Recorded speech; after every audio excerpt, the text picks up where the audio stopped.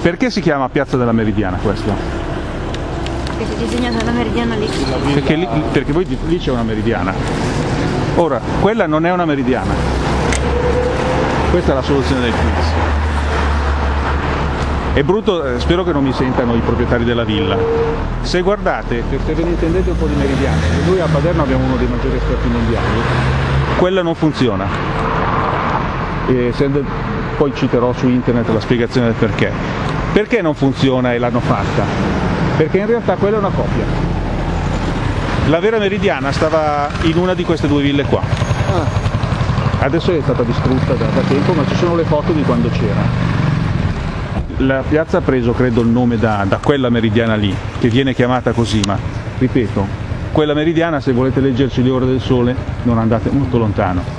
Quella che c'era lì era funzionante e probabilmente i proprietari della villa dicevano la vogliamo avere anche noi, e l'hanno fatta. Adesso è rimasta quella che non funziona. Questa è la soluzione del qui.